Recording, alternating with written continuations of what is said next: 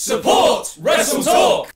Once more into the news, dear friends. Once more, I'm Adam from Wrestle Talk, and here's this week's 10 news stories you might have missed. Number one, WWE big push to sign indie star. Back in December, WWE held a huge tryout of indie talent, reportedly lasting a few days, with WWE giving regular trainees at the Performance Center those days off, according to Fightful Select. Hello, Sean. According to the same report, one of the standouts at this tryout was inaugural Ring of Honor Women's Champion Rok-C, but apparently, even before she had performed well at the tryout, there was significant internal push within WWE to get her signed to a contract. Rok-C has only just dropped the ROH Women's title to Deonna Purrazzo, and in years gone by, WWE have turned away talent because they were too young. However, especially with NXT 2.0's new direction and Cora Jade already challenging for the NXT Women's Championship after only just turning 21, the 20 year old Rok-C seems to be exactly what WWE is after. Number two, Grayson Walter. All right, fine, I'll talk about Gunther. On this week's episode of NXT 2.0, after a really great main event match with Roderick Strong, everyone's favorite wrestler,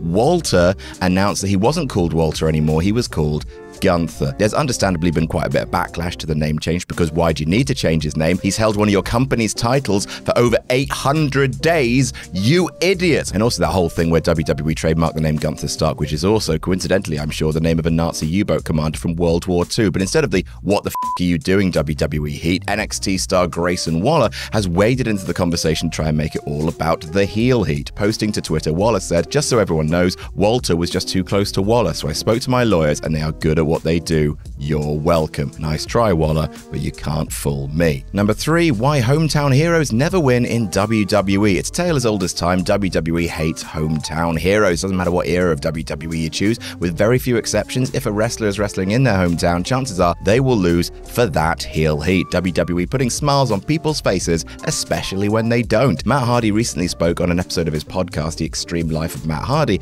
on why Vince McMahon has this weird booking philosophy in the first place, noting that it was this weird quirk of Vince's that cost the Hardy Boys from winning the tag titles during the first ever TLC match at SummerSlam 2000. They were originally booked to win before Vince realized they were in their home state of North Carolina and changed it. According to Matt, Vince thinks winning in a hometown is too predictable. Everyone in that venue is going to know you're going to win and they're expecting you to win, so I don't want to do that. Let's do it the next show. Matt continued by saying, Vince is a big advocate of if you're over as a babyface, there are times where you don't need to win. It doesn't make a difference. Does it make a difference? Does anything make a difference? Why can I smell toast? What a time to be alive!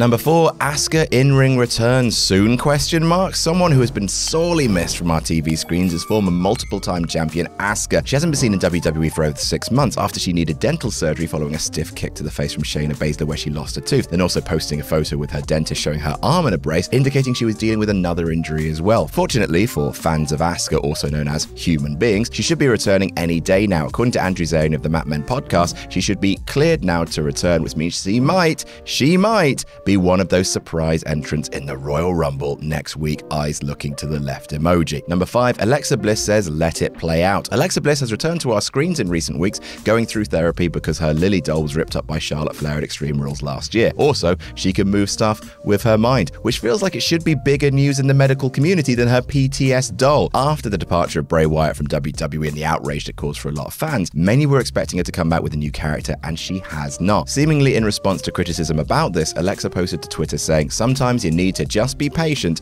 and see how things play out. Feels like a bit of a hollow argument after the payoff to the Fiend storyline was him being released, and the payoff to Aleister Black's new character was him being released, and the payoff to Karrion Cross's new character was him being released. None of which are Alexa's fault, of course. Don't be a dick to her on social media. It just feels like the let it play out argument is a little played out. Number six, Lesnar versus Reigns will be different than we expect. Brock Lesnar versus Roman Reigns, a tale as old as balls. The everlasting WrestleMania feud that has been going on since, checks notes, WrestleMania 31.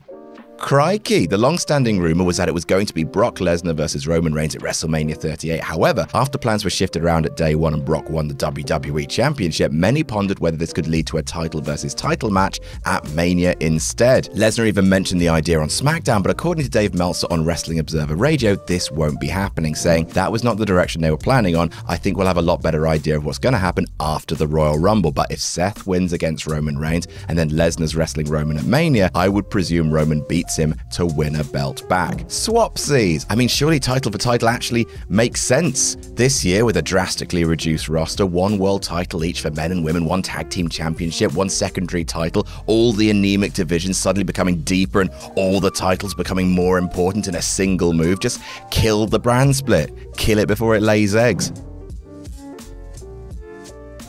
Number 7. Konnan Heart Surgery. Perennial influence on the wrestling industry, Konnan was reportedly recently hospitalized, according to Dave Meltzer, after what was described as a great deal of pain in his chest. Konnan had originally attributed the source of pain to fractured ribs he suffered following an attack from FTR last June on Dynamite. However, it's now being reported by Alfonso Lizarraga of the Gladiadores that Konnan actually underwent heart surgery as a result of complications due to COVID 19. Konnan had previously contracted COVID last February when he was also hospitalized due to a kidney issue. In more positive news, Lucha Blog is now reporting that thankfully he's in a stable condition. Best wishes to DJ Konnan. Number 8, Swerve's post WWE career. One of the more egregious WWE releases in the past year was the group known as Hit Row, not just because they had potential as a group, but because they had literally just been called up to the main roster in the draft. Out of all the members of Hit Row, fans were generally most excited to see what Isaiah Swerve Scott, formerly known as Shane Strickland pre WWE, would do next, as he'd built up his name in NXT as one of the more exciting wrestlers on the show. After he'd had several AEW stars as guests on his Swerve City podcast, many naturally assumed AEW was very possible for his next move, but it's the Indies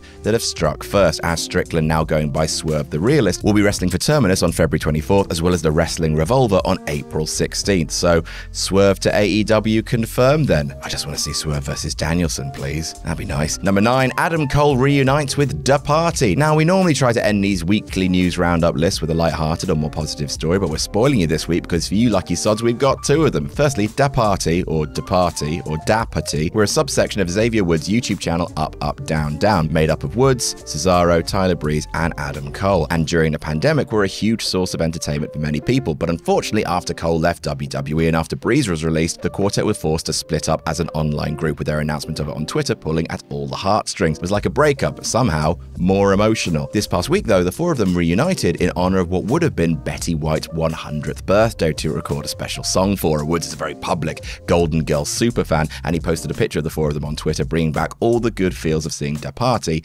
back together again. Isn't that lovely? And number 10, Kyle O'Reilly's had a daughter. And let's end with even more good news. New AEW signee Kyle O'Reilly announced the birth of his daughter earlier this week, and she's adorable. Posting on Instagram, O'Reilly said, Welcome to the world, Janie Elizabeth Greenwood, named after my late mother who wanted to be a granny more than anything. I am so proud to be your dad. Life is so precious and beautiful. You share a birthday with some amazingly influential and positive people, including Michelle Obama, Betty White, Muhammad Ali, and Jim Carrey. Plus, you were born on Martin Luther King Day during a full moon. That is some wildly positive energy right there. Once again, isn't that lovely? Hope you're all having a great weekend. And that's our list. What's been your favorite bit of wrestling news from the past week? Let us know about it. Make sure you subscribe to Wrestle Talk for more up to the minute wrestling news. Make WrestleTalk.com your homepage and never forget to jam that jam.